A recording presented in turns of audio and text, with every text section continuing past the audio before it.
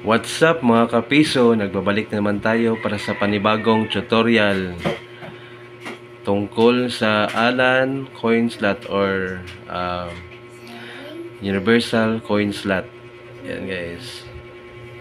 So, subukan natin yung pinakabagong uh, anti-hook coin slot ni Alan. So itong anti-hook mga kapiso ay uh, para maiwasan ang ano yun, yung mga cheat-cheat yung anti-hook yung ano, ano ba yung tawag dyan? Yung mga nili, ni, uh, yung mga improvise ng mga bata yung may ano yan? Yung parang alambre na may coins. Yung hindi kagaya nung old uh, old style ni uh, ni Alan. Yung ganito yung ganito. So madali lang siyang machichit yung may hook sila na dala. So ang kagandahan nitong uh, universal coin slot anti-hook ay tumatanggap ng iba't ibang coins. Old at saka new coins. Ayan. So bago ang lahat paki-like at subscribe sa aking channel para maging updated ka sa mga next tutorial video ko. Ayan. So, ayun na guys. Meron tayo ditong um,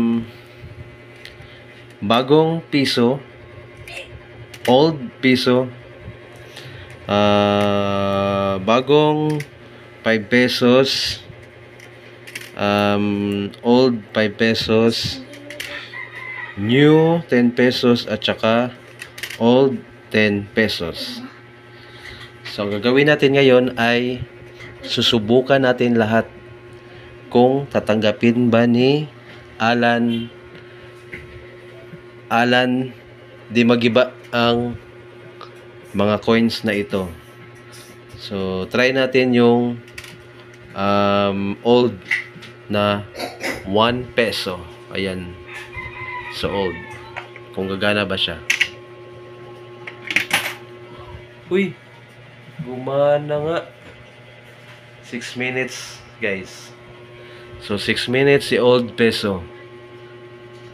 Ngayon naman, ay susubukan natin si new peso.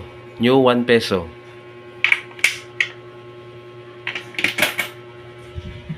Uy! Gumana nga. Ah, tindi ah.